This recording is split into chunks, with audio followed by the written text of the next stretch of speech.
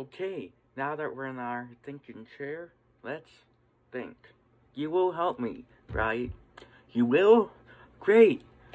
So, we're trying to figure out what Maggie wants to bring, what Maggie wants to get at McDonald's, and our clues are Oreos, hmm, a cup, and a spoon.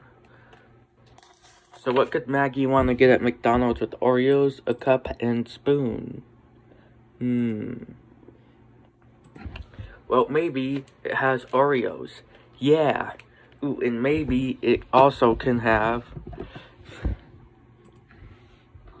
Maybe you can get a spoon with it.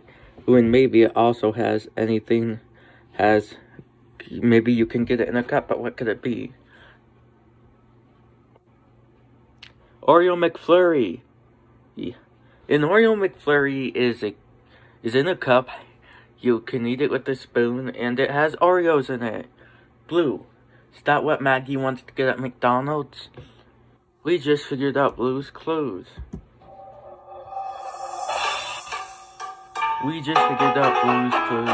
We just figured out Blue's clues. We just figured out Blue's clues. Cause we're really smart. Come on, Blue. Let's go to McDonald's. Do you want to come to McDonald's with us? Come on.